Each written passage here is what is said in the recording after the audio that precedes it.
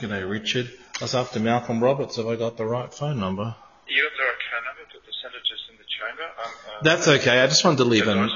just wanted to leave a question for him. He posted um, a, a video of a statement he made in Parliament uh, a couple of days ago, talking about the Constitution, how the states can make laws around the Constitution. I wanted to clarify with him Section 107 of the Constitution.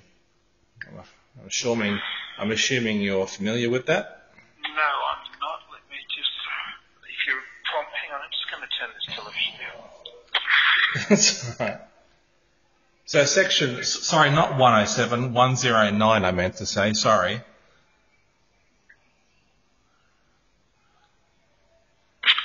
we had to. We had it was section, of course. so this, so this is, um, part of the entire legal system that we're based upon, how a higher court always holds precedent over a lower court, so forth. And as section 109 of the Constitution provides that when a law of the state is inconsistent with the, with the, with the Commonwealth. Yes, so you're reading that wrong. And and we have had a barrister's opinion. I've been through it. Well, All right. Did you mean 107 or 109? Because you Sorry, 10, I know I made a mistake, sorry, 109. Yeah, okay, now I am sorry. with you. Yeah. The federal government only has primacy over a po- policy area that is specifically listed in the Constitution. So the Constitution in 1901, the states got together and split up what you might call portfolios. Health was given to the states. The federal government cannot legislate a, a the federal government could not legislate to ban uh, compulsory vaccination um, under its health powers.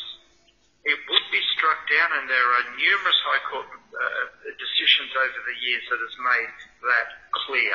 There's been 40 High Court challenges to to exactly mandatory vaccinations over the years.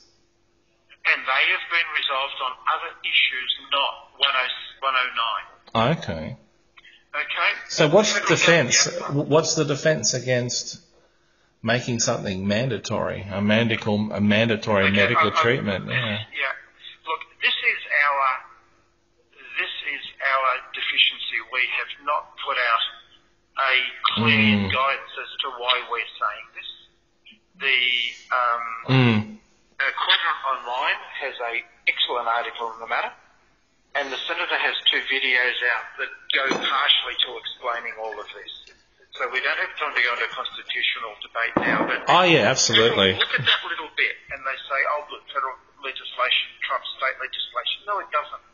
It only trumps state legislation in the areas that the the uh, Constitution gave as being federal powers, and that does not include health. It, it, they were mostly external powers, defence, trade, um, security, those sorts of things. Mm. Um, oddly, transport, because the original intention was to have a, a unified national rail grid, which 120 years later we still don't have. So the Constitution did not give much to the federal government. Everything that it does, it does by consensus. It's called referred powers. So the state government will say, all right, show us the bill or show us the powers you want Right. to use. Yes, all right, we all agree to refer that power to you. And can I say, the state can take back that power in, a, in an instant, merely by sending a letter to the Prime Minister saying, I withdraw my uh, uh, reserved powers. So if the state, if the federal government were to legislate for no compulsory vaccination, then the states could just pull that referred power and go Mm. no. You know, it, and it would not. And if they, but that's probably all they would need to do. If they chose to get, take it to the High Court, the High Court would have to uphold the Constitution. Now you can pitch it other ways. You can say that this is compulsory conscription Mm. which is another section of the Constitution. Yes. And the High Court did um, strike down compulsory vaccination under that section of the Constitution, but that was 50 years ago, 60, 70, 70 years ago actually. We have no confidence that if that came up again, they would make that same decision again, because fed- uh, our federal structure has progressed a lot since then, and the federal government is now all powerful. So that Mm. might work, but uh, there is that section can't be read to include health, education, uh, housing, um, uh, Aboriginal affairs, a whole pile of stuff that the Constitution specifically gave state governments. Mm. So uh, that's the problem, and the, these armchair uh, uh, lawyers that are reading Mm. that going, oh, the federal government could, could, no, they can't. No, they can't. And now we are preparing legislation that we are trying to use um, a couple of constitutional, um, you know, three and a half points with a twist to try and get, to try and uh, establish that the federal government does have the right to ban federal, sorry, ban mandatory vaccinations. Um, and at the moment, we've got a, a barrister, constitutional barrister with 32 years standing going, you know what, this doesn't fly. So until we can Mm. find a way to make it fly, we're not going to do it because it's going to be pointless exercise. Yeah, exactly. So, yeah, and a waste of money as well, yeah. Federal government state, yes, but only in respect of the powers it has, and it doesn't have this power. Right, So okay. That makes sense. That was something I didn't know. Sorry, I'm not a Yeah, lawyer, no, so. no. Uh, Yeah. it's, it's just really uh, frustrating that people bring up Malcolm and abuse him for not, you know, ad- advocating the exercise of powers that don't exist. Yep. All right, I'll leave it with you. And Thank you. we are- we Thank you a lot for filling that in. I, I, I appreciate it. No worries. We're pursuing every legal, Okay. every legal constitutional, you know, avenue to try and stop this thing. Uh, but you know what? What is going to stop it? Public opinion. Yes, exactly. If we can get enough people, if we can get enough people to make a stand, we'll be fine. We'll see what happens. They have just stuck their heads up by mandating their workers get vaccinated. Yeah, I saw that. I'm, I'm just wondering whether the workers are going to to comply or whether they're going to go on strike. The union is going to to, to uh, comply. Yes, one of our our uh, people is on that.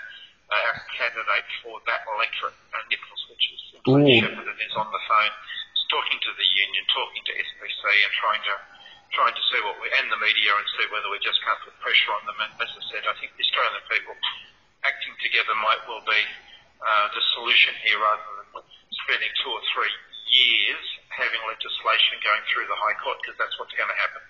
Yeah. These cases take years. Right, and the minute someone refers it, the government. Well, it's only got to be delayed three years, and we'll see the consequences of these of these injections without, a, you know. So if, even if we can delay it a couple of years, we'll know exactly what we're dealing with. If, if, if it goes to the High Court, then the government can keep doing. They need to apply for an interlocutory. Mm, Sorry, I always say that word slowly. Uh, injunction. injunction, to, yeah. to prevent the the uh, uh, thing proceeding, um, so as to allow them to maintain the status quo. Uh, those injunctions are always pitched to allow the status quo to continue, not to change something. So we, they Mm, would probably succeed. So by the time this gets out of the court, and even if the court went, yep, okay, fine, we'd all be we'd all be dead, yeah. pretty much. Yeah. Right. Thank you very much. I appreciate your input. Bye-bye. Okay, bye bye. Bye.